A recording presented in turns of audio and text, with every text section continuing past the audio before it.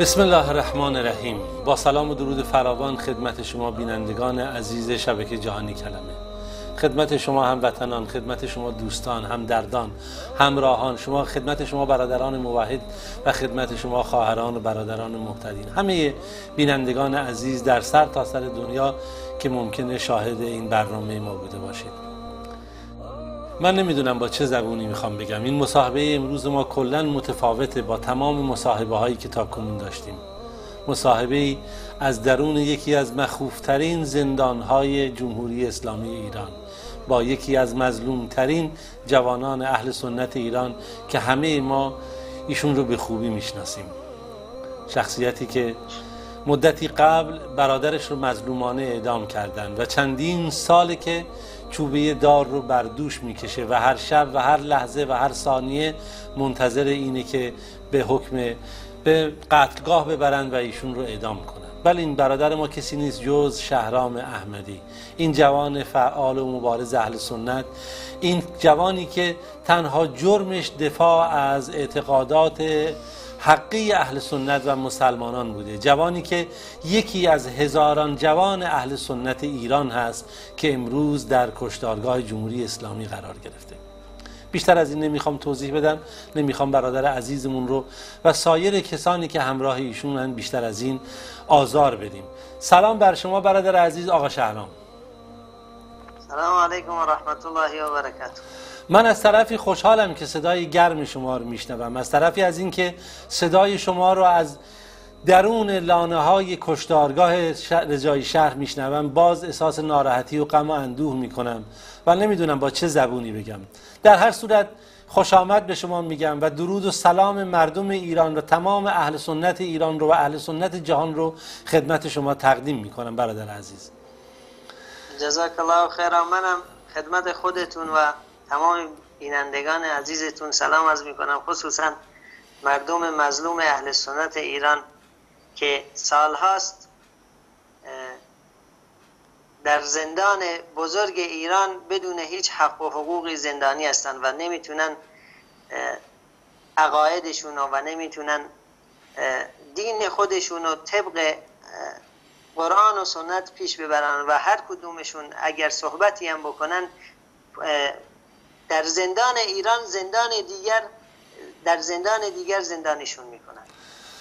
بله زندانی کوچکتر. حق با شماست برادر عزیز. من نمی‌خوام چون شما میگم بیش از این آزار ببینید و اذیت بشید. حداقل ما اگر نمی‌تونیم مرهم دلتون بشیم و سبب نجات شما بشیم بتونیم بیانگر دردها و آلامتون برای تمام کسانی هست که واقعا به دنبال حقوق بشر انسان هستن. شهرام جان. من بدون مقدمه یعنی بدون هیچ چیزی اولین سوالم اینه که می‌خوام خودتو معرفی کنی. اسمت رو فامیلت رو خانوادت و سنت و شغلت رو خیلی مختصر برای بیننده ما توضیح بدی. من شهرام احمدی هستم. اهل استان کردستان شهرستان سنندج و محله بهاران. که اکثر مردم بهاران منو می‌شناسن و در خدمتشون بودم. و بیرون هم شغلم آزاد بوده و در خدمت یعنی مردم عزیز بودم اونجا و مشغول فعالیت های مذهبی بودم در کردستان. و در سال 88 قبل از سفر آقای خامنه ای منو دستگیر کردن و به گوله بستن به تعبیر دیگه و چندین تیرم به هم اصابت کرد و به بیمارستان منتقل کردن. عملهایی صورت دادن و فورا بردن سپاه و اطلاعات برای بازجویی و حدود سی و سه ماه در سلول های انفرادی اطلاعات رژیم ایران بودم خب شهرام من قبل از شهرام قبل از اینکه بیشتر توضیح بدی من یک سوال خدمت دارم. سوالم اینه. شما گفتید فعالیت مذهبی. اینها فعالیت مذهبی رو در ایران به گونه دیگه به مردم تعریف کردن و بیان می‌کنن. می‌خوام شما با زبان خود بگید چه نوع فعالیت مذهبی در مساجد داشتی؟ در ایران دو نوع ما اهل سنت داریم. که یکیش رو من اصلا اهل سنت نمی‌دونم. آخونده های یا ملاهای یا ماموستاهایی که ظلم رژیم رو یعنی چشم پوشی می‌کنن. هر چیزی که رژیم بهشون میگه همون رو برای مردم توضیح میدن. هر چیزی که منافع رژیم در اون باشه همون رو برای مردم میگن و هر چیزی که حق اهل سنت باشه حقوق اهل سنت باشه حق اون مردم مظلوم باشه از این چشم پوشی می‌کنن و سرکوبش هم می‌کنن. که متاسفانه متاسفانه الان تمام اون یعنی ماموستاهایی که تریبون دستشونه در کردستانات متاسفانه جوری براشون برنامه ریزی کردن که به هیچ عنوان حق و حقوق اهل سنت رو طلب نکنن. ما در مساجد من و دوستان و اکثر دوستان مذهب تحریف نشده اهل سنت رو برای مردم توضیح دادیم. مذهب توحیدی اهل سنت و دوری از قبر پرستی و شرک قبور دوری از یعنی خرافات و بیدینی هایی که سبب اصلیش این رژیم بوده و اون گفتم متاسفانه ماموسه های منتصب به اهل سنتی که اینها رو در رابطه با منافع رژیم تجویز کردن برای اهل سنت. و در, کرد در کردستانات هر کسی هر کسی حقیقت رو بیان کنه و مذهب اهل سنت خارج از تحریفی که اینها در به اسم مذهب اهل سنت مثلا ماموستاهایی هستند که خودشون یعنی سراحتا برای قبر پرستی تبلیغ می‌کنن و هر و توجیهش می‌کنن و خودشون یعنی این رو برای مردم تجویز می‌کنن. در حالتی که مذهب اهل سنت مذهب اهل سنت و جماعت از شرک و کفر و بیدینی و قبر پرستی و خرافات بری است.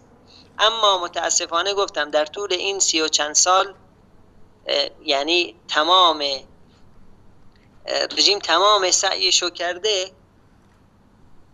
که این تحریفات رو وارد مذهب اهل سنت بکنه. شهرام جان شما ما این تحریف ها بله من متوجه شدیم بینندگان هم متوجه شدن که شما تنها جرمتون فعالیت برای رسوندن قرآن و سنت حقیقی بدون تحریف و خرافات بدون همراهی با این ملاهای حکومتی به عبارتی علمای دربار. مطلبتون واضح و روشن هست. بله. بارها ما به این اشاره کردیم. اینجا یه نکته هست. شما می‌تونید بگید چه ساعتی از شب شما به خونه می اومدید آیا از مسجد از همین فعالیت های مذهبیتون دعویتون برمیگشتید؟ و چرا از پشت به شما گلوله زدن؟ آیا به هر اهل سنتی که اینجوری تو خیابون ها می‌بینن چنین حمله ای می‌کنن؟ یا یک پیش زمینه سابقی وجود داشت یا ایست دادن؟ یا شما از یک محل مثلا عبور ایست یا مثلا عبور ممنوع رد شدید؟ جریان چی بود دقیقا؟ ما وقتی که از مسجد اومدیم بیرون با یکی از دوستام نزدیکی کوچه ای که اونجا بود چند نفر دیدیم داخل تاریکی کوچه و از کنارشون رد شدیم. چون از مسیر کوچه ما نمی‌خواستیم عبور کنیم.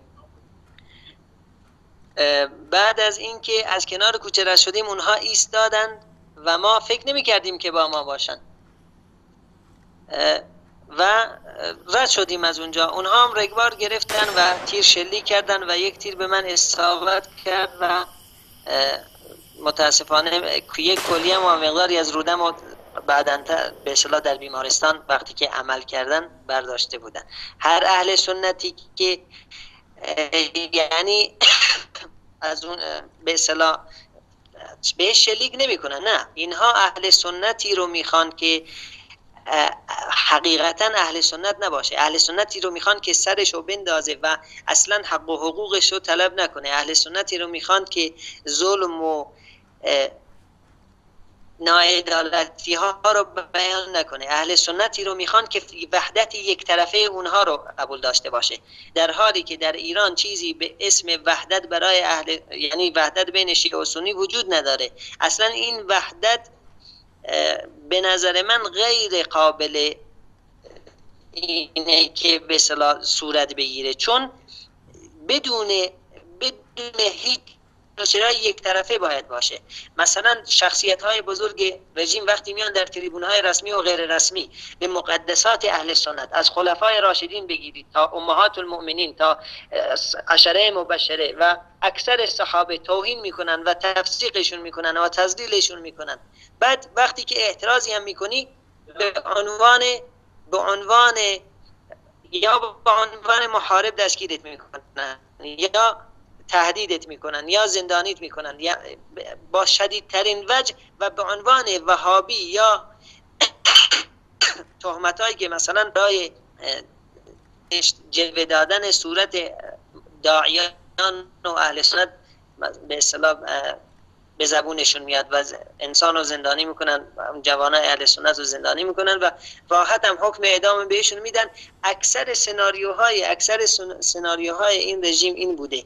اکثرا اکثرا این بوده که وقتی یک عالم مثلا اهل سنت رو یا یک ماموسای اهل سنت رو می‌کشن خودشون و تهمتش رو به اهل سنت های دیگه. ما دوستامون شش نفر تقریبا سال 91 شش نفر سال 93 رو اعدام کردن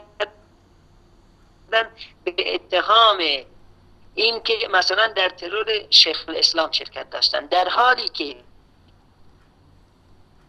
در حالی که تاریخ بازداشت همه شون قبل از بله. صدای شما قطع و شد. بیان ایشون این بود که میگه افرادی که اعدام شدن به نام مسببین ترور شیخ الاسلام عاملین شیخ الاسلام قبل از ترور شیخ الاسلام دستگیر شده بودن. خود مردم چرا به این فکر نمی‌کنن؟ بهرام احمدی حامد احمدی جمشید و جهانگیر دهقانی هوشیار محمدی اصغر رحیمی اکثر بچه پیوان زندکریمی محمد تاریخ ترور این شخص خیلی فرق داره. یا در سیستان و بلوچستان یک مدت پیش یک به اصطلاح عالم ال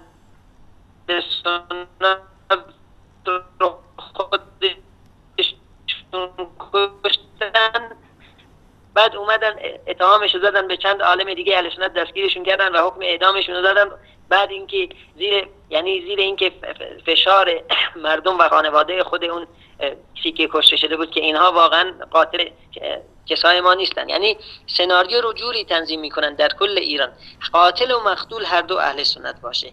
کسی رو که می‌کشن اهل سنت باشه و کسی هم که به اصطلاح خودشون قصاصش می‌کنن و حکم محاربش میدن اون اونم اهل سنت باشه. این یه سناریوی خیلی خیلی قدیمیه که چندین سال این رو اجرا می‌کنن بله نگاه کن شهرام جان دیگه این سیاست اینها تار و پود خودش از دست داده. هناشون دیگه رنگی نداره. من یک سوالی دارم می‌خوام برگردم به اون لحظاتی که شما تیر خورده بودید زخمی بودید بیمارستان و اون 33 ماهی که شما میگید در بازداشتگاه اطلاعات بودید. می‌تونید از اون لحظات از اون خاطرات هرچند که تلخ است برای ما تعریف بکنید که اینها زیر شکنجه از شما چه می‌خواستند؟ آیا به مسائل اعتقادی شما هم توهین می‌کردند؟ و چه چیزی رو می‌خواستند به شما و سایر جوانانی که مثل شما دستگیر شده بودند تحمیل بکنن و ازتون اعتراف بگیرن.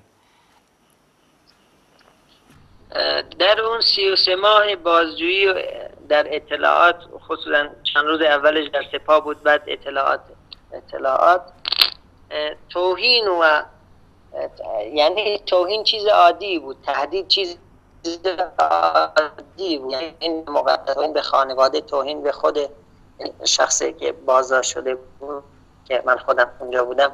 اینها می‌خواستن مثلا اتهاماتی می‌زدن که راحت بتونن با این اتهامات مثلا خود شخص رو و چندین نفر دیگر از داعیان و مبلغان اهل سنت رو بتونن با این اتهام سرکوب شدیدی بکنن. در اون تاریخ دو شش یعنی شش دو 1388 که من دستگیر شدم حکومت نظامی بود به خاطر سفر رهبر ایران به کردستانات به این خاطر یعنی در اون جو حکومت نظامی که مردم می‌دونستن این حکومت نظامی مثلا راحت شلیک آزاد به هر کسی رو که می‌خواستن درگیر دستگیر کنن. اگه شما برگردید به تاریخ اون تاریخی که ایشون سفر کرده بودن چندین نفر رو با شلیک که مستقیم و غیر مستقیم به خودش یا به خودروش مثلا دستگیر کرده بودن. در حالی که هیچ هیچ اتهامی هم نداشته فقط صرف صرفا اینکه چون حکومت نظامی بوده مثلا اینا بیرون اومدن. در اون مقطع 33 ماهی هم که ما توی اطلاعات بودیم از انواع شکنجه از کتک زدن تهدید خانواده کردن از کنم خدمت سلول های انفرادی سلول های انفرادی به اصطلاح که بعضی وقتا هوای گرمی رو از لوله های به اصطلاح داخل اتاق میدن که انقدر گرم بود که آدم آرزوی یعنی مرگ می‌کرد. بعد هوا رو قطع می‌کردن هوای سرد داخل اتاق می‌دادن. یا ارز کنم خدمت شکنجه های روحی تهدید این که خانوادهتون چیکار می‌کنیم خانوادهتون رو بازداشت می‌کنیم خانوادهتون رو یعنی تهدیدهای سنگینی که من الان یعنی دلم نمی‌خواد اون حرفا رو اصلا تکرار کنم. تهدیدهایی که واقعا آزارم داده اون وقت. و هر چند تهدیداشون هم عملی کردن برادر منو بازداشت کردن بعد از چند ماه و حتی اعدامش هم کردن حتی جنازش هم تحویل خانواده ندادن. در این مدت 33 ماه اینها می‌خواستن من قبول کنم که بله من محاربه کردم بر علیه رژیم شما بر علیه مثلا میگم اینها می‌خواستن که این اتهام رو ثابت بکنن که شهرام احمدی و دوستاش مثلا قصد براندازی نظام رو داشتن قصد این اتهام چیزی به اصطلاح بزرگی نیست. شاید من قطعا هم دوست ندارم این رژیم, رژیم یک ساعت سر کار باشه. اما اینش مهمه که اینها برای به خاطر اینکه توجیه کنن مثلا اینکه حکم اعدام از زبان خودم اعتراف بگیرن ساعت ها شکنجه کردن تا جلوی دوربین مثلا من بیام حرفایی بزنم و کاغذهای سفید امضایی از من گرفتن و همچنین از دوستام.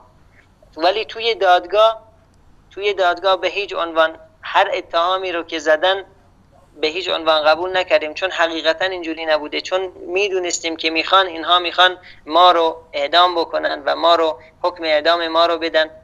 الان هم دیگه خدای متعال هر چی یعنی هر چی خیر اون رو قسمتمون ما خودمون رو دادیم دست خدای متعال. خداوند بزرگر همون راهمینه و بالای همه قدرت هاست. شهرام جان بله واقعا مردم ایران غالبا این جمهوری اسلامی رو با این سیستم با این روشی که واقعا نه بوی از اسلام برده نه با فرهنگ اسلامی آشنایی دارن و نه با اخلاق اسلامی دوست ندارن و نمی‌خوان. و هیچ قانونی نمی‌تونه اینها رو محکوم به مرگ بکنه به خاطر دوست نداشتن یا نخواستن.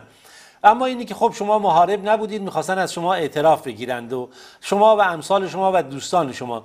می‌خوام یه کمی از بهرام برام بگی. آیا دستگیری بهرام که خدا رحمت کنه ایشون به شهادت رسید شهیدش کردن با شما همزمان بود یا بعد از شما دستگیر کردن؟ آیا در دوران بازجویی ها در اطلاعات همدیگر رو می‌دیدید یا نه؟ بهرام رو چند ماه بعد از من یعنی بعد از من دستگیر کردن من فکر فکر می‌کردم خودشون تهدید کردن که مثلا افراد خانوادهتون رو دستگیر می‌کنیم.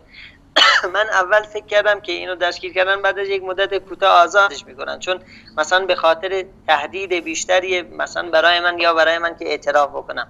ولی بعدها حتی کوچکترین اتهامی برای بهرام نداشتن. خود بازجو بازجو این حرفو می‌زد. می‌گفت من دلم نمیاد بهرام انقدر پاکه که یک سیلی بهش بزنم. حالا چه برسه به این که تناف اعدام رو گردنش بندازم. یعنی این خدا شاهد این حرف خود بازجو بود.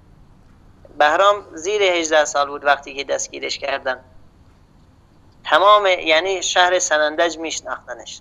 آدم صاف و صادق و پاک و مذهبی بود. اینها یعنی به راستی به هیچ کسی رحم نمی‌کنن. برای من باور شدنی نبود وقتی که دستگیرش کردن. وقتی که توی اطلاعات دیدمش برای اولین بار. چند, چند دقیقه دیدمش بعد دیگه جدامون کردن و, و بعد از مدتی اون رو انتقال دادن به بازداشتگاه همدان. و از اونجا به بازداشتگاه اوین و از اونجا به زندان رجای شهر و یک مدت زندان رجای شهر موند و منم منتقل شدم به زندان رجای شهر بعد از سی و سه ماه. اینجا هم دیگر رو دیدیم. و اینجا از شکنجه ها اذیت و آزارهایی که شده بود برام تعریف کرد و بعد از چند ماه هم که بردن زندان قزلستان و اونجا اعدامشون کردن و جنازه هاشون هم حتی به خانوادهمون تحویل نداد شهرام جان بهرام هم مثل شما فعالیت دینی داشت دعوت به قرآن و سنت صحیح می‌کرد یا نه؟ بله اونم یعنی مبلغ بود ولی خیلی یعنی اون رو بیشتر به خاطر من گرفتن یعنی بله. بیشتر به خاطر زیر فشار قرار دادن من گرفتن. ولی دیگه چطور شد سیاستشون؟ اینجوری که مثلا اینجوری اقتضا کرد که همه اینها رو اعدام بدن. من یعنی حاضرم قسم بخورم که یک خط یک خط یک خط هم حتی اتهام بر علیه بهرام نداشتن. بر علیه من اگه پخش جزوه باشه پخش سیدی باشه سخنرانی هایی در مساجد و بعضی مکانهای شلوغ باشه اینها رو داشتن. یا چند تا کتاب از خونمون گرفته بودن. اما بر علیه بهرام هیچی نداشتن. هیچی. شهرام جان من این سوالی ازت دارم. نگاه کن. تو هم مثل سایر جوانان ما مثل فرزند من هستی واقعا دل انسان درد می‌گیره نمی‌دونیم چیکار میشه کرد. سوالم اینه شما چه کتاب هایی رو مگر میخوندید؟ چه کتاب هایی رو برای مردم تدریس می‌کردید در مساجد و در خونه ها کتاب هایی که یعنی کتاب هایی که ما برای برادرها و خواهرای اهل سنت اکثرا که شروط لا اله الا الله بود کتاب واجبات بود کتاب تبیان بود. کتاب هایی بود که واقعا یک یعنی واجب بر یک مسلمان که این کتاب ها رو بدونه. توحید بود توحید از یعنی مردم رو منع می کردیم از طلب کردن از غیر خدا. مردم رو منع می کردیم از طلب کردن از قبرها. مردم رو منع می کردیم از طلب کردن از به اصطلاح شیخ ها و سید ها و امام ها و پیامبران و طلب کردن از اینها. چون فقط یعنی خدای متعال می‌تونه که به انسان کمک بکنه. ولی بعضی از ماموسه ها و سیاست رژیم در طی این سی و چند سال چنان یعنی برای مردم تبلیغ کرده بود که مثلا امام رضا شفا میده یا شیخ فلان, فلان کردستان یا شیخ بعضی از ماموسه هم این رو تجویز می‌کردن برای مردم. ما مردم رو منع می‌کردیم از شرک و قبر پرستی و بود پرستی و مردم رو دعوت می‌کردیم به توحید و یکتا پرستی به اینکه تنها از خدای متعال طلب کنن به اینکه تنها برای خدای متعال نظر کنن تنها برای خدای متعال سجده ببرن پیش ساحرها نرن پیش دعا نویس ها نرن پیش رمالا فالگیرها نرن ولی اینها این رو یعنی برای خودشون خطرناک می‌دونستن چون تمام یعنی تمام کاسه و کوزشون رو روی آب ریخته بودیم. در اون مدتی که خیلی از جوانهای اهل سنن اونجا الحمدلله روشن شده بودن و دین خودشون رو پیدا کرده بودن. می‌دونستن که یک سری از ماموسه های درباری و خود دربار دارن بهشون ظلم می‌کنن و دروغ میگن و مردم رو از قرآن و سنت دور کردن. این بود دعوت و تبلیغ ما. من بله. از همین تریبون بله بفرما بفرما تریبون هم از مردم می‌خوام از مردم می‌خوام چنگ بزنن به قرآن و سنت. این راهی که شهرام و بهرام و تمام دوستانش یعنی طی کردن ان الله راه پیامبران و صحابه و صلحا و شهدا بوده. و این راه اعدام کردن هم در داخلش از توهین کردن. وقتی که به پیامبر خدا گفتن ساحر و مجنون و کذاب وقتی که به صحابه توهین کردن براشون تهمت درست کردن وقتی به اولیا و انبیا توهین شده در این راه دین این مصیبت ها به راهشون اومده برای من خودم با جون و دل این مصیبت ها را قبول می‌کنم. جون جان من و جان برادرم و تمام دوستانم در راه دینی که یحیی و زکریا و خیلی از پیامبرا در راه شهید شدن اصلا هیچی نیست. و ما حاضریم یعنی خودمون و خانوادهمون و فدای این دین می‌کنیم ولی مردم به فکر قیامت خودشون باش باشن مواظب باشن کلا سرشون نگذارن. دین خدا دین پاک و توحیدیه. از شرک و خرافات و بدعت دوره.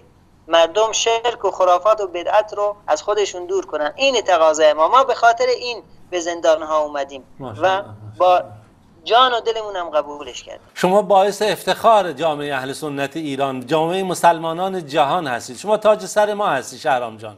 واقعا بیاد اون سخن مؤمن آل فرعون میفتم و تقتلون رجلا ان یقول ربی الله. شما کسی رو می‌خواید بکشید که میگه رب من الله و ما نقموا منهم الا ان یؤمنوا بالله العزیز الحمید. انتقام نبود از موحدان مگر اینکه فقط به الله ایمان داشتن. شهرام جان می‌خوام برگردم به یک مسئله خانوادگی و عاطفی. خیلی دلم می‌خواد در اون 33 ماه که تو ذکر کردی در واحد اطلاعات بودی برادرت بعد دستگیر شد. می‌خوام از حال احوال مادرت پدرت خانوادهتون اگر تو متعهل بودی در مورد اینها برای ما توضیح بدی. حقیقتا یعنی انسان نمی‌تونه چطور توضیحش بده. اون دردی رو که پدر و مادرها می‌کشن اون دردی رو که خانواده یعنی لمس می‌کنن. اینجا یک قفسیه. من خاناخا بهش عادت کردم. ولی مادر و پدرم خانومم برادر و خواهرام هر لحظه یعنی هر لحظه سختی بیشتری رو می‌کشن. از دوری از مثلا نبودن این که مثلا الان ما رو از کردستان آوردن به تهران. خانواده من پدر 76 ساله و مادرم که الان فلج افتاده خونه اصلا نمی‌تونن بیان ملاقات. این خیلی خیلی دردآور خیلی انسان رو رنج میده که حتی یعنی زندان اعتراض کنم به این. من صبر می‌کنم انشاءالله. خدای متعال عفو و عافیت نصیب کنه. به این به معنای اعتراض نیست. به معنای دردیه که خانواده یعنی خانواده هم لمس می‌کنن.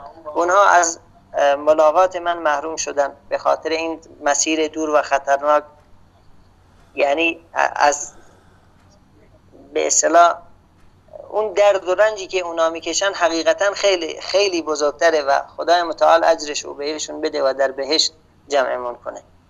من نمی‌دونم داستان یعنی من نمی‌دونم چطور توجیهش کنم. حق دارید شما. خانواده من وقتی که از کردستان اومدن اینجا و در راه برگشت. اینجا مادرم سکته کرد وقتی خبر اعدام بهرامو بهش دادن. در راه در راه برگشت تصادف کردن. در راه, در راه برگشت تصادف کردن و متاسفانه مادرم فلج شد. تمام اون کسایی که الان سنندج هستن و خانواده ما رو می‌شناسن شاهدن بر این امر. و خواهرم ضربه مغزی شد.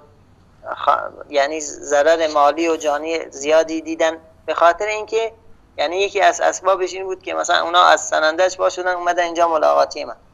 الان هم دو سال و هفت ماهه که از اون تصادف گذشته من نتونستم مادرم رو ببینم. خانوادم نتونستن به آن صورت که قبلا می اومدن بیان ملاقاتی و به طور کل مادرم دکتر اسم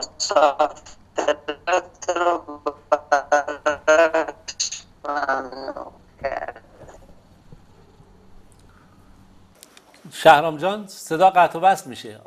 پسرم شهرام صدا قطع و وصل میشه. بله اینجا متاسفانه خط مشکل داره یه مقدار. شهرام جان نگاه کنید می‌خوام در مورد دادگاه صحبت کنید. دادگاهی که شما و دوستان و برادران فرزندان ما رو بردن در عرض چند دقیقه حکم اعدام صادر کردن. می‌خوام اون دادگاه رو به تصویر برای ما بکشی. اون چهره جلاد قاضی مقیسه رو برای ما به تصویر بکشی. اون حالاتی که شما در دادگاه حاضر شدید و از خودتون دفاع کردید برای ما به تصویر بکشید. حالا ما رو, ما رو بعد از چهل و شش ماه به دادگاه بردن. و در پنج دقیقه قاضی مقیسه که حقیقتا حقیقتا به راستی جلاد بزرگیه در پنج دقیقه بدون اینکه اصلا اجازه بده که ما قبلش با وکیلمون حرف بزنیم یا اجازه بده اونجا ما از خودمون دفاع کنیم. اتهام محاربه با خدا و رسول اتهامی که یعنی حقیقتا مقایسه مقایسه باید یعنی این اتهام بر علیه صدق کنه اون دشمن خدا و رسول ما دفاع کردیم از خدا و پیامبرش دفاع کردیم از امهات المؤمنین از صحابه کرام رضی الله عنهما. از, از این بزرگان دین دفاع کردیم. اونها این اتهام محاربه رو که به هیچ عنوان ما قبول نکردیم و حتی اجازه ندادن اونجا وکیل وکلای ما مثلا حرف بزن هر چند وکلای وکلای تسخیری هم بودن اونجا. اجازه ندادن اینها هم حرف بزنن. قاضی مقایسه وقتی که اتهام محاربه رو زد وکیل اون وکیلی که اونجا بود وکیل من بود پا شد و گفت وکیل تسخیری بود. محاربه در قانون ایران طبق ماده 183 قانون مجازات اسلامی یعنی اینکه اسلحه دست بگیری و ایجاد رعب و وحشت بکنی در جامعه. در حالی که موکل من هیچ اسلحه نداشته چاقو هم نداشته. این این اتهام مردوده. قاضی بهش اجازه نداد. دیگه حرف بزنه. گفت وای شما بشینید و هر دفاعی داشتید در لایحه بنویسید. تنها یک یعنی یک دقیقه اجازه داد به وکیل حرف بزنه. و خودم هم هر حرفی می‌زدم به, به الفاظ زشتی سنی کسیف یا وهابی کسیف یا با این الفاظ زشت می‌گفت خفه شد تو دروغ میگی تو کذاب هستی لعنت میفرستاد. و می‌گفت به مامورین اطلاعات راست میگن. شما دروغ میگی. شما شما کرد هستید سنی هستید و تبلیغ کردید برای نظام. سه, سه گناه نابخشودنی. اینها رو در ظاهر نمیگن. اونجا قاضی مقیسه چهره اصلی خودش رو برای مردم برای ما بیان کرد. اون وکیلم که اونجا بود خودش این حرفا رو حرفا رو شنید. اونها براستی یعنی در دادگاه ضد ضد انسانی یعنی هیچ حق و حقوقی از یعنی برای هیچ کس قائل نیستن. حتی توهین های زشتی از یک آخوند. یعنی حقیقتا زشته. مثلا خودشون رو مثلا نماینده شهرام یعنی جان. خودشون رو نماینده دین می‌دونن و این توهینات شهرام جان مقیسه ملبس به لباس آخوندیه؟ بله به اصطلاح خودشون روحانیه آیت الله است الله رب العالمین به عزت و شرف خودش به بزرگی و رحمت خودش اگر واقعا حکمت می‌دونه باید اینها رو چنان انتقامی از اینها بگیره که رسوای اردو عالم بشن. شهرام می‌خوام از دوستات بگی. حال هوای دوستات در زندان بعد از محاکمه اینهایی که اعدام شدن خاطرات لحظات برای ما تعریف کن بیننده های ما بدونن. معلوم نیست دوباره این فرصت پیش بیاد برای ما یا نه. والله یعنی آدم نمی‌تونه چطور یعنی توصیفش کنه. اون دوستایی که اعدام شدن مثلا اسخر رحیمی دوستم بود که دو تا بچه داره الان ریان و رویدا. ارز کنم خدمتت. خیلی از بچه ها حامد احمدی یعنی هر لحظه حامد احمدی خاطراتش اسخر. بهرام الان من توی اتاق توی اتاق یعنی وسایل بهرام رو می‌بینم یا خاطرش زنده میشه. یا مثلا دوستم برادر اسخر رو می‌بینم دوباره یعنی یاد اسخر میفتم تمام تمام دا به اصطلاح یعنی تمام این زندان الان این بندی که ما داخلش هستیم از هر گوشش و هر قسمتش خاطراتی از اون بچه ها هست. دوازده تا از برادرای ما رو اعدام کردن. فقط به خاطر اینکه می‌گفتن پروردگار ما الله است. فقط به خاطر اینکه می‌گفتن پروردگار ما رو یعنی شریک برای الله متعال قائل نشیم. فقط به خاطر اینکه می‌گفتن عبادت فقط باید برای الله باشه. فقط به خاطر اینکه شرک قبور و قصور رو قبول نداشتن. یعنی حکام ظالم رو برای مردم یعنی چهره حکام ظالم و تاغوت رو برای مردم هویدا می‌کردن روشن می‌کردن. شهرام جان من می‌خوام شهرام جان می‌خوام از اون لحظاتی که بچه ها رو برای اعدام بردن بار بار شما ها رو حکم اعدام صادر شده بار بار بچه ها رو بردن تا اینکه آخر اینها رو به قربانگاه بردند و ذبح کردن می‌خوام اون لحظات خداحافظی اون لحظاتی که اینها رو برای شهادت و عروج به آسمان میبردن حالاتشون رو برای ما تعریف بکنی رفتارشون رو یعنی که چگونه اینها با پای خودشون به قربانگاه می‌رفتن. اولین باری که ده نفر رو به زندان قزلحصار انتقال دادن. اینجا رئیس و معاون زندان اومدن گفتن انتقال به سنندج. خدای متعال رو شاهد می‌گیرم. خدای متعال رو شاهد می‌گیرم. اون لحظه اون برادرها یعنی بهرام بهرام برادر خودم توی یک اتاق بودیم. رفت غسل کرد. گفت من میرم اینا می‌خوان شهیدم کنن خدای متعال این شاهد می‌گیرم و اکثر برادرهایی که اینجا اون وقت 170 نفر اینجا بودیم. اکثرا این خاطره رو یادشونه. و یکی دیگه از برادرها توی سالن هر به اصطلاح سخنرانی کرد گفت که شما برای ما ناراحت نشید خدای متعال از ما قبول کنه دعای ثابت قدمی برای ما بکنید. دعا کنید خدای متعال از گناهانمون بگذره. و به فکر خودتون باشید. منم این رو میگم به مردم. میگم شما برای ما دعای خیر بکنید و به فکر دین خودتون باشید. این از همه مهمتره برای ما. ان الله خدای متعال خدای متعال ازش می‌خوام ما رو ثابت قدم کنه و شهادتش رو نصیب ما بکنه و هر آنچه که خیر نصیب ما کنه. ولی یک نصیحت برای مردم اهل سنت برای مردم ایران ازشون خواهش می‌کنم ازشون خواهش می‌کنم به دینشون پایبند باشن. چون این دنیا حقیقتا کوتاه و فانی و گذراست. این دنیا تموم میشه. یک لحظه بیشتر عمر هیچ کس عمر نمی‌کنه. یک ثانیه. عمر من مشخص شده و تعیین شده و در اون لحظه ای که خدای متعال اراده کرده باشه جان من رو ملائکه خواهند کشید. اما مردم به فکر ایمان خودشون باشن به فکر این باشن که کلاه سرشون نذارن در باب دین. عبادت هاشون خالصانه برای خدای متعال انجام بدن برای ما هم دعا بکنن. این خواسته ماست و این خواسته این تمام پیامبرا برای این اومدن که عبادت ها فقط خالص خالص بشه برای الله.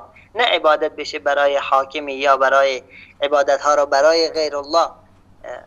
تجویز بشه که متاسفانه متاسفانه الان شیاطینی در در لباس به اصطلاح روحانیت در لباس ماموستایی دارن شرک و بت پرستی و قبر پرستی و عبد, عبد بودن عبد بودن تاغوت ها رو تجویز می‌کنن برای مردم. ما به, ما به این خاطر دستگیر شدیم و از مردم می‌خوایم این راه رو ادامه بدن. شهرام جان من بله شهرام نگاه کنید. اینجا یک سوالی پیش میاد. از اون ور شما درخواست دادید برای اینکه بالاخره شرایطتون رو مردم دنیا بشنون. بارها بارها نامه نوشتید. مادرتون دو بار نامه نوشته. خداوند حفظ بکنه سایه مادر روستر شما و همه واقعا فرزندان ایران فرزندان مسلمان در غیر مسلمان همه بنده ها رو خدا سایه مادر ازشون دور نکنه. مادرتون درخواست کرده که جلوی اعدام شما گرفته بشه. آیا شما واقعا از مرگ میترسید؟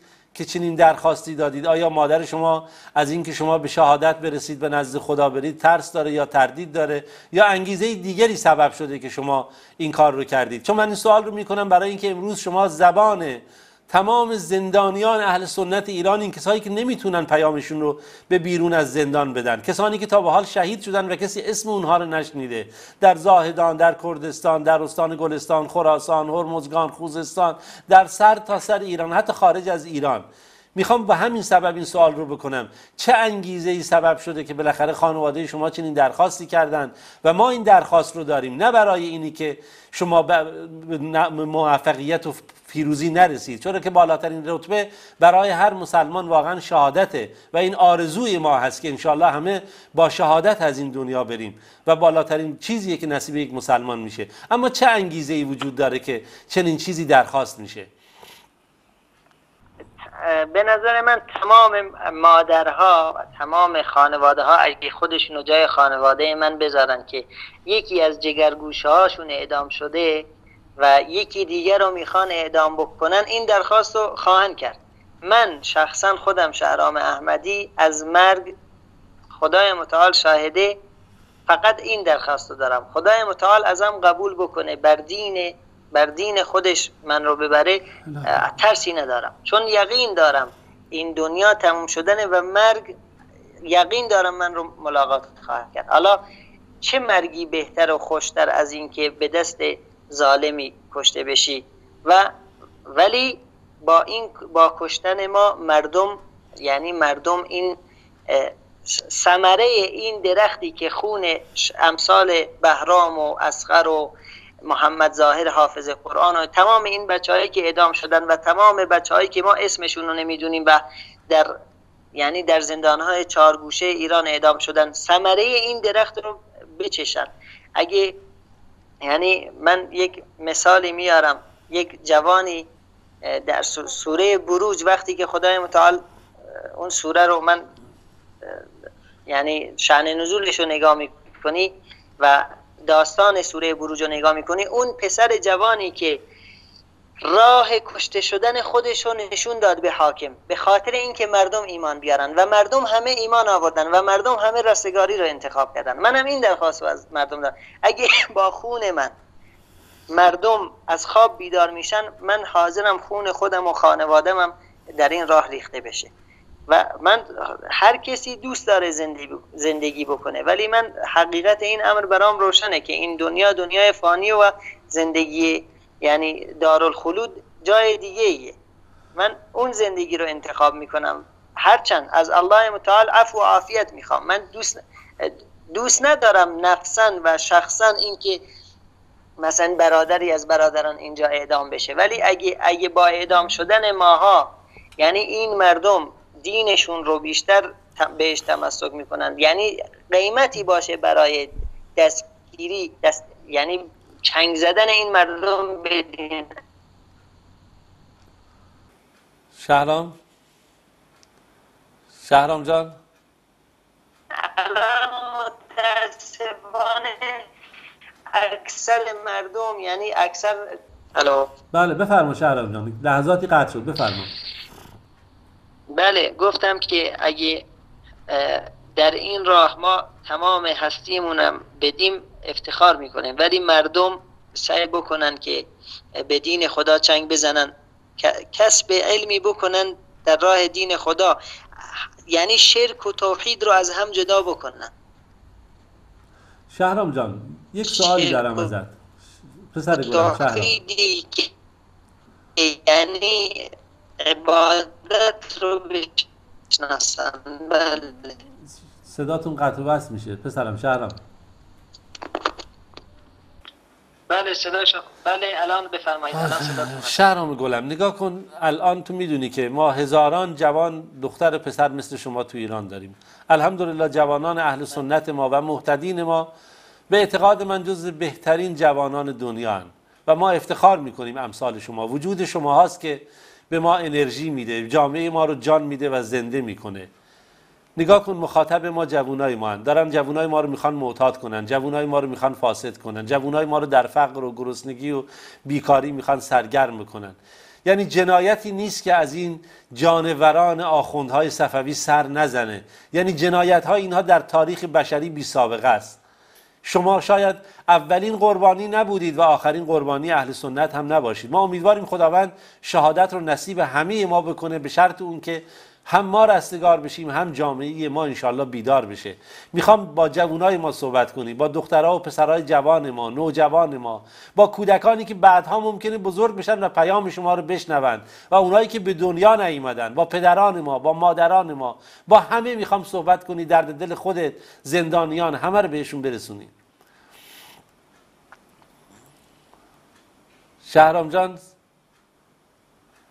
شهرام پسرم. یعنی بزرگترین در بله سلام هست. بله صداتون هست. بفرمایید. یعنی یعنی درخواست من اینه که چنگ بزنن به حبل خدا و اعتصموا بحبل الله.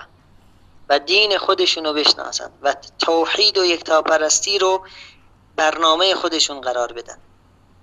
و به خاطر خدا زندگی کنن و به خاطر خدا بمیرن. به خاطر خدای متعال یعنی کارهاشون رو انجام بدن. تمام خودشون رو خالص کنن برای خدای متعال. برای ما هم دعا کنن که خدای متعال خالصمون کنه. خدای متعال عاقبتمون رو بخیر کنه و در قیامت در بهشت برین جامون بده. از مردم می‌خوام که مهمترین درخواستم ولا تموتن الا وانتم مسلمون. این مهمترین درخواستم از اونها. یعنی از بچه و پیر و بزرگ و یعنی همشون دست بگیرن به دین خدا عبادتاشون انجام بدن برای خدای متعال شریک قرار ندن. این بزرگترین خواسته منه. و تمام یعنی تمام پیامبران هم تمام پیامبران برای این اومدن. ما هم که پیرو پیامبر هستیم این این خواستمونه. ما دنبال روی اون پیامبران هستیم. دنبال روی اولیاء و اصحاب و یعنی بزرگای دین هستیم. خواسته اونا چی بوده؟ مردم چنگ بزنید به دین. مردم راه خدای متعال راه دین خدای متعال رو طی کنید. برای خدای متعال شریک قائل نشید. از گناه و بدعت و شرک و تاغوت دوری کنید. این خواسته ماست از مردم. خواسته من و تمام دوستانم که اینجا یا زندانی هستن یعنی حبس دارن یا حکمشون ادامه یا حبس ابد دارن یا حبس های طولانی مدت. خواسته همه ما برنامه همه ما نیت همه ما این اینه که مردم بیدار بشن. الان وقتی که بیرون بودیم برای مردم حرف می‌زدیم. الان هم که اینجاییم با زندانی بودنمون مردمی که مثلا ما رو میشناختن بیرون الان می‌دونن شهرام زندانه و دوستام که اینا هر کدومشون زندانن. اونها بدونن که این زندانی زندانی ها به خاطر دین خداست و ما به خاطر دین خدا حتی جونمون رو هم خواهیم داد و هیچ ترسی از کشته شدن و اعدام شدن نداریم. به اذن خدای متعال وقتی که تناب اعدام بر گردن شهرام احمدی انداخته بشه اون وقت میگم اشهد ان لا اله الا الله و اشهد ان محمد رسول الله. سبحان الله. شهرم جان ما آرزو می‌کنیم انشاءالله شما آزاد بشید در کنار ما تو این شبکه های توحیدی مشغول به دعوت هدایت جوانان بشید.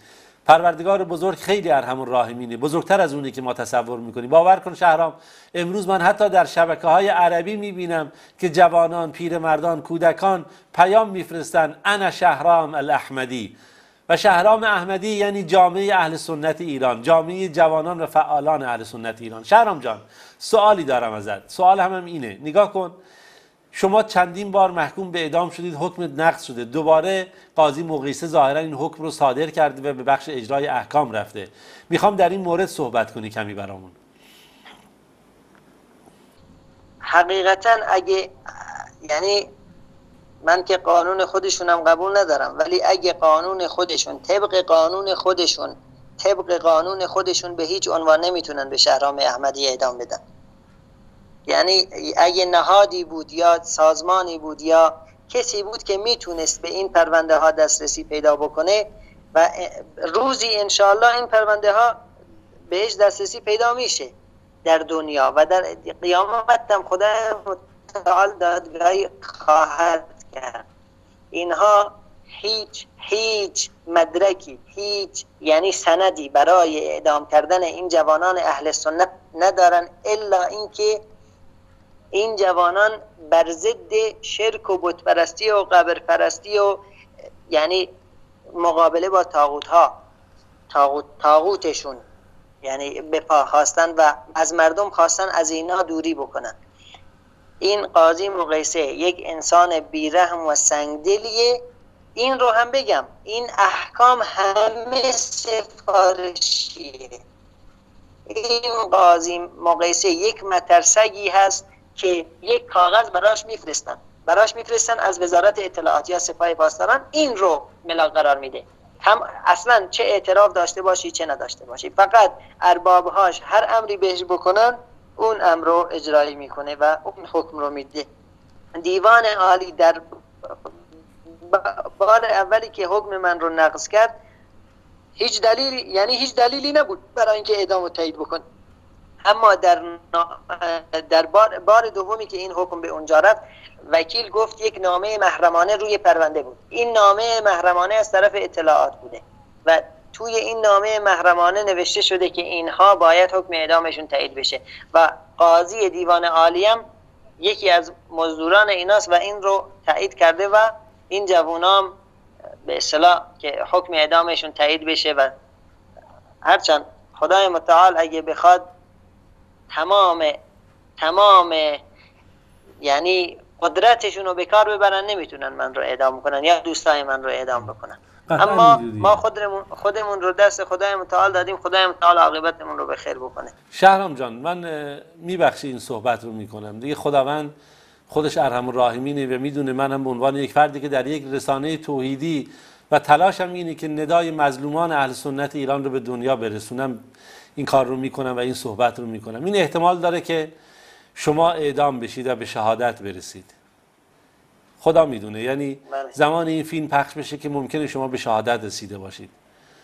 چه پیامی برای پدر و مادر پیرت و ناتوانت داری؟ برای خواهرت برادرت دوستات؟ ازشون می‌خوام که صبر داشته باشن صبر به معنای واقعیش. ازشون می‌خوام که از یعنی ازاداری های یعنی خرافاتی یا مثلا اونی که مخالف شرع یعنی اصلا به هیچ عنوان برای من انجام ندن. ازشون می‌خوام که طبق سنت پیامبر صلی الله علیه وسلم من رو دفن کنن و قبرم طبق سنت باشه. به هیچ عنوان مثلا تشریفاتی نباشه. ازشون می‌خوام که دین خدا رو رعایت کنن. دین خدا رو یعنی دین خدا رو عملی بکنن که در قیامت خدای متعال ما رو در بهشت و اونها رو به ما ملحق بکنه. خدای متعال از خدای متعال می‌خوام که خانوادم رو عفو و عافیت نصیبشون کنه و صبر بهشون بده بر مصیبت ها و در بهشت جمعمون کنه به خاطر اسماء و صفاتش. شهرام جان نمی‌دونم واقعا تقدیر الهی چی بشه. آیا تو زودتر به دیدار رسول الله صلی الله علیه و بشه تا بیا ما؟ اما انتظار اصلا داریم.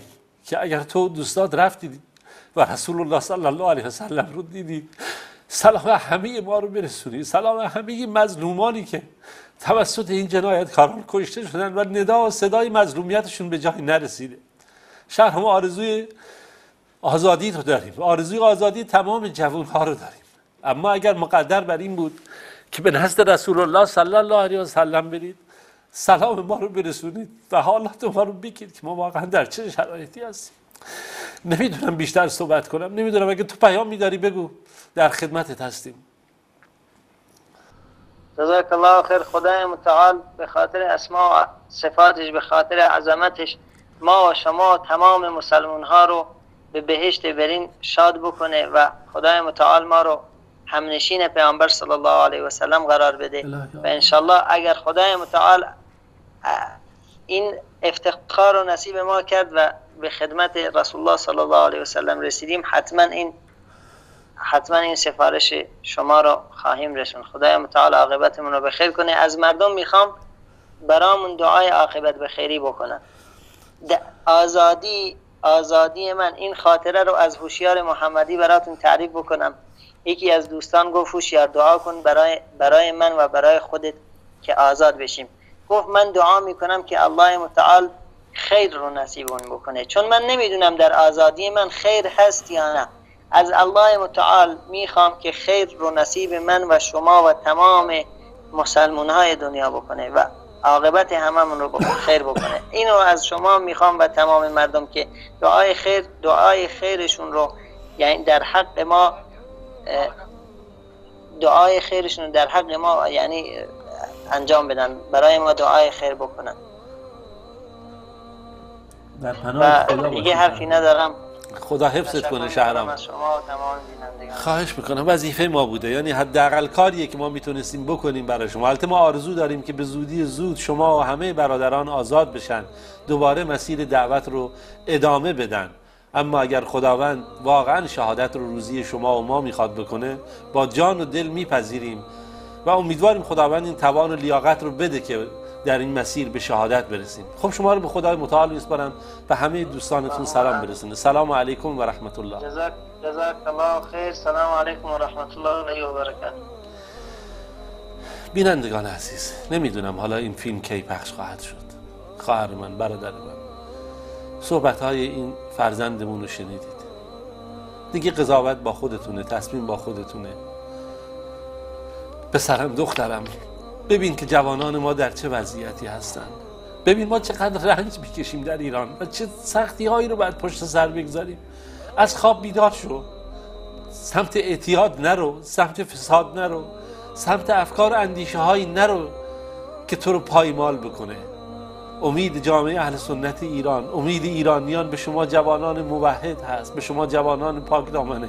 مساجد رو ترک نکنید قدر پدر و مادر خودتون رو بدونید و در این مسیر خودتون رو آماده بکنید برای دعوت و پایانش. ان الله به اذن الله رب العالمین. شهادت. همه رو به خدا میسپارم. به امید اینکه این فیلم اصلا پخش نشه و روزی ما شاهد آزادی پسرم شهرام و تمامی بندگان خدا جوانان و زندانیان باشیم. السلام علیکم و رحمت الله و برکاته.